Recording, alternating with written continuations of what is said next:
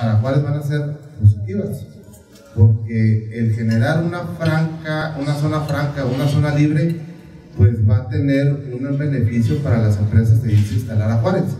Ahora, hay que tener cuidado de que no sea nada más una instalación de RFCs y de una oficinita cuando tu operación la tienes en otro lado.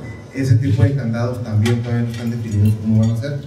Se están trabajando, pero eh, definitivamente nosotros vemos como algo positivo para Juárez y para Chihuahua lo que viene eh, a razón del nuevo Tratado de Libre Comercio y sobre todo con las nuevas políticas del gobierno federal.